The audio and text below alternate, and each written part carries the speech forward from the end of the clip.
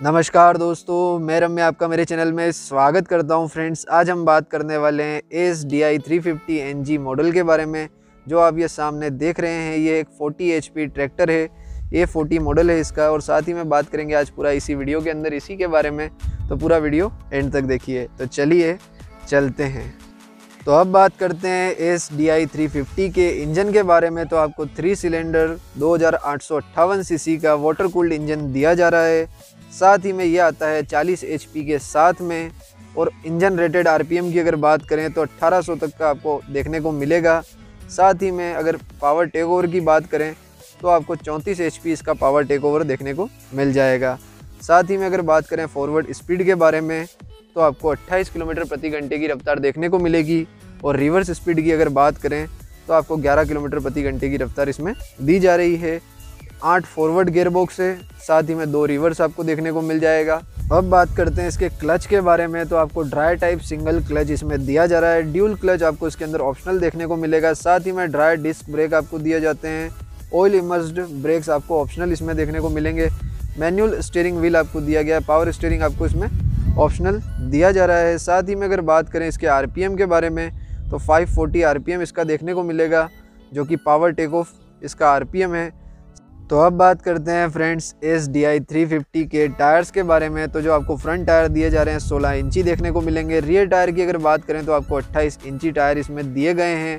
Lifting capacity की अगर बात करें तो आपको 1200 सौ के तक की देखने को मिलेगी। 1800 सौ के आपको ऑप्शनल इसके अंदर दी जा रही है। साथ ही में अगर बात करें इसके डायमेंशन के बारे में तो आपको तीन हज़ार एम की इसकी लेंथ दी जा रही है। साथ ही में सत्रह सौ एम की आपको वृथ मिलेगी। 420 mm का आपको ग्राउंड क्लियरेंस इसके अंदर दिया जा रहा है। 3020 mm का आपको टर्निंग रेडियस इसका देखने को मिल जाएगा।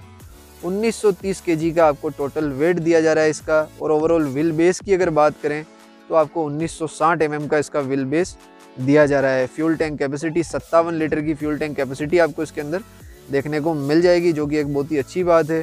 साथ ही में अगर बात करें इसके अंदर आपको जो कैपेसिटी दी जा रही है वो आपको ऑप्शनल ज़रूर देखने को मिलेगी। साथ ही में जो ब्रेक्स हैं, वो भी आपको ड्राई डिस्क ब्रेक्स आपको इसके अंदर दिए जाते हैं। बट तो अब बात करते हैं friends S D I three fifty के डिज़ाइन एंड लुक के बारे में। तो आप जो ये लुक देख रहे हैं, ये फ्रंट का इसका एक बहुत ही मैश लुक देखने को मिलेगा। साथ ही में अगर बात करें इसके हेडलैम्प्स के बारे में तो आपको हेलोजन हेडलैम्प्स दिए जा रहे हैं। एनजी की ब्रांडिंग आपको देखने को मिल जाएगी। इसका जो पूरा नाम है S D I three fifty N G tractor है ये।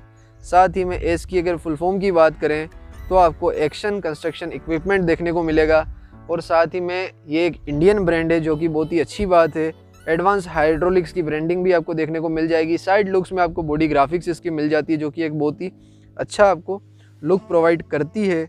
डी आई थ्री फिफ्टी की ब्रांडिंग आपको देखने को मिल जाएगी।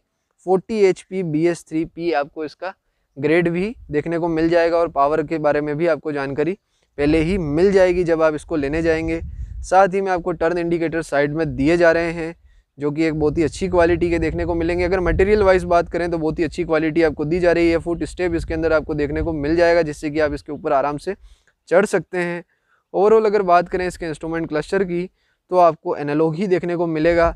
सभी चीज़ें आपको फ्यूल मीटर वगैरह सब कुछ एनालॉग ही इसके अंदर दिया जा रहा है। टोटल अगर स्पीड की अगर बात करें तो अट्ठाईस किलोमीटर आपको प्रति घंटे की रफ्तार से ये चल सकता है, जो कि इसकी फॉरवर्ड स्पीड है। साथ ही में आपको इसके अंदर, इसके लीवर्स देखने को मिल जाएँगे और फोर स्पीड तक का आपको इसके अंदर एक लीवर दिया हुआ है एक्सेस लीवर साथ ही में वी सॉकेट आपको इसके अंदर मिल जाता है हज़ार लाइट का स्विच आपको दिया जा रहा है।